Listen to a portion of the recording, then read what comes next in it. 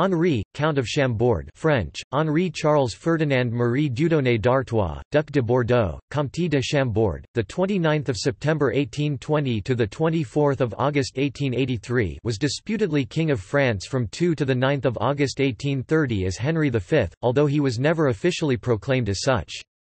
Afterwards, he was the legitimist pretender to the throne of France from 1844 to 1883. He was nearly received as king in 1871 and 1873. Henri was the posthumous son of Charles Ferdinand, Duke of Berry, younger son of Charles X of France, by his wife, Princess Carolina of Naples and Sicily, daughter of King Francis I of the Two Sicilies. As the grandson of Charles X, Henri was a petit fils de France. He was also the last legitimate descendant in the male line of Louis XV of France.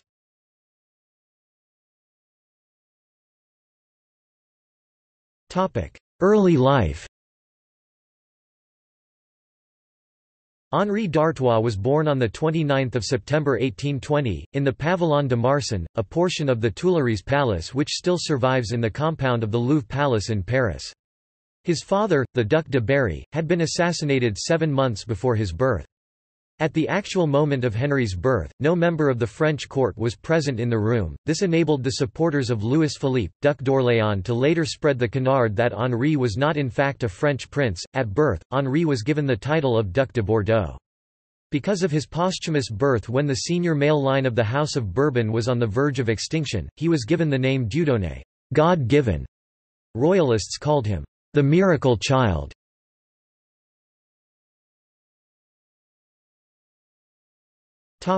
Pretender monarch On 2 August 1830, in response to the July Revolution, Henry's grandfather, Charles X, abdicated, and 20 minutes later Charles's elder son Louis-Antoine, Duc d'Angoulême, also abdicated in favour of the young Duc de Bordeaux. Charles X urged his cousin Louis-Philippe of Orléans, as Lieutenant General du Royaume, to proclaim Henri as Henri V, King of France, but Louis-Philippe ignored him.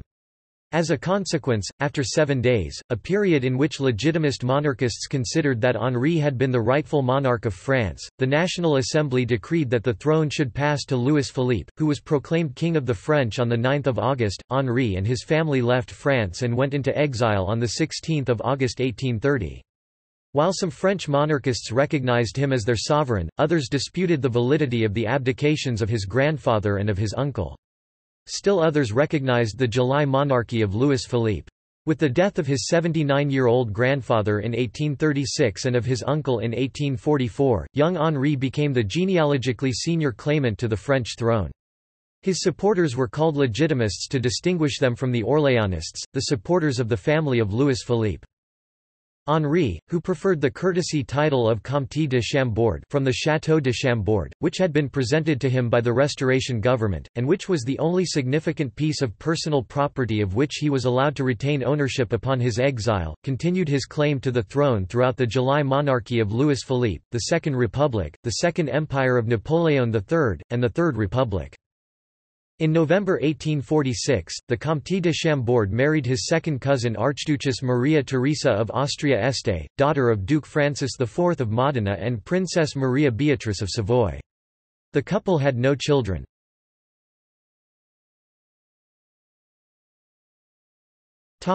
Hope In the early 1870s, as the Second Empire collapsed following its defeat in the Franco-Prussian War at the Battle of Sedan on 1 September 1870, the Royalists became a majority in the National Assembly.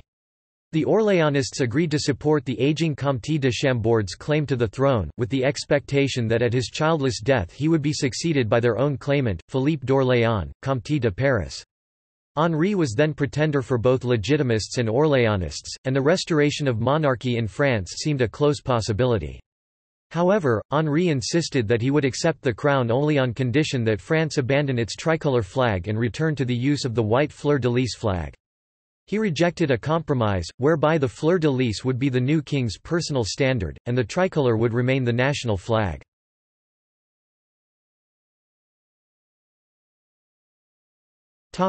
Defeat A temporary Third Republic was established, to wait for Henry's death and his replacement by the more liberal Comte de Paris. But by the time this occurred in 1883, public opinion had swung behind the Republic as the form of government which, in the words of the former President Adolphe Thiers, divides us least. Thus, Henri could be mockingly hailed by Republicans such as Georges Clemenceau as the French Washington, the one man without whom the Republic could not have been founded. Henri died on 24 August 1883 at his residence in Frohsdorf, Austria, at the age of 62. He was buried in his grandfather Charles X's crypt in the church of the Franciscan Kostanjevica monastery in Gorizia, then Austria, now in Slovenian city of Nova Gorica. His personal property, including the Château de Chambord, was left to his nephew, Robert I, Duke of Parma son of Henry's late sister. Henry's death left the legitimist line of succession distinctly confused. On one hand, Henri himself had accepted that the head of the Maison de France as distinguished from the Maison de Bourbon would be the head of the Orléans line, i.e. the Comte de Paris. This was accepted by many legitimists, and was the default on legal grounds. The only surviving Bourbon line more senior was the Spanish branch, which had renounced its right to inherit the throne of France as a condition of the Treaty of Utrecht. However, many if not most of Henry's supporters, including his widow, chose to disregard his statements and this law, arguing that no one had the right to deny to the senior direct male line male Bourbon to be the head of the Maison de France and thus the legitimate King of France. The renunciation of the Spanish branch is under this interpretation illegitimate and therefore void. Thus these legitimists settled on Juan, Count of Montizón, the Carlist pretender to the Spanish throne the Salic law having been suspended in Spain, the actual king, Alfonso XII, was not the senior descendant in the male line, as their claimant to the French crown.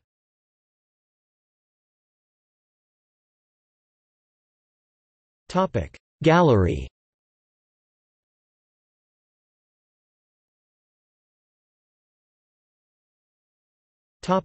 Honours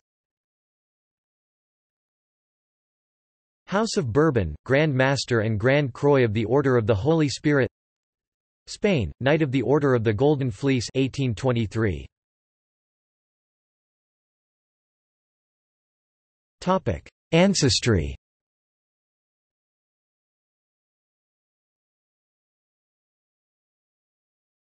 Topic: Patrilineal descent.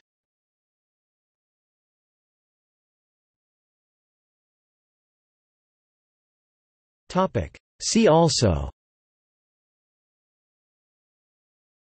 List of shortest reigning monarchs.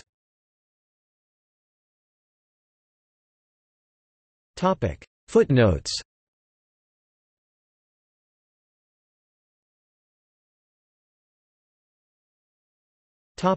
Further reading. Brown, Marvin Luther. The Comte de Chambord, The Third Republic's Uncompromising King. Durham, North Carolina, Duke University Press, 1967. Delorme, Philippe. Henri, Comte de Chambord, Journal 1846–1883, Carnets Inédits. Paris, Guibert, 2009. The Death of the Comte de Chambord. British Medical Journal 2, No 1186 September 22, 1883, 601.